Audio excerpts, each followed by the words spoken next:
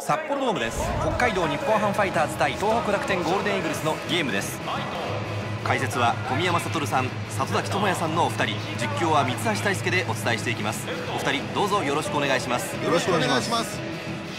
小宮山さん。小宮山さんは現役時代数多くのバッターと対戦されたわけですが苦手なバッターのタイプというのはあったんですか？いや基本的にあのバットを持ってフルスイングする人みんな嫌いでした。そうですか。やはり当たれば飛ぶというね威圧感があるからでしょうかね。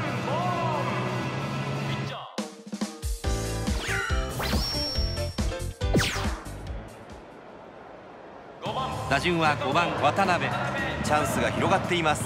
さあファイターズ一打サヨナラのチャンスを迎えています。ここはゲッツーを取りたい場面ですね。うんなるほど。そういった攻め方をしていけるかどうか。初球打っていった。抜けた。セカンドランナー帰ればサヨナラですがホームに送球。レフト前ヒット。これでマルチヒットちゃんとつながったんでここが大事ですね、えー、さあこのチャンスでバッターボックスには6番のワンボーロンが入っています。小宮山さんこの場面スクイズはどうでしょう？まあどうでしょう。犠牲フライを狙ってくるんじゃないでしょうか。うんそうですか。うんこれでスクイズの可能性は薄くなりましたね。はいそうですよね。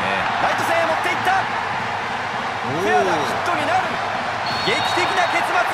さよなら鮮やかなバッティングでした。この人のタイムリーで見事なサヨナラ勝ちです。打ったバッターはもみくちゃ。日本ハムファイターズがなんと劇的なサヨナラで勝利しました。延長でのサヨナラゲームとなりました。小宮山さんやはりサヨナラ勝ちというのは通常の勝利よりも数倍興奮しますよね。まあそうですね。本当にサヨナラ勝ちぐらいしびれる試合ないですからね。いやー素晴らしいゲームでした。勝ったファイターズサヨナラ勝ちという劇的な勝利をものにしました。一方のイーグルスですが痛い敗戦となってしまいました。ご覧のように今日のゲームはファイターズが見事勝利を収めています。今日の解説は小宮山悟さん里崎智也さんのお二人でした。どうもありがとうございました。ありがとうございました。この辺りで札幌ドームから失礼いたします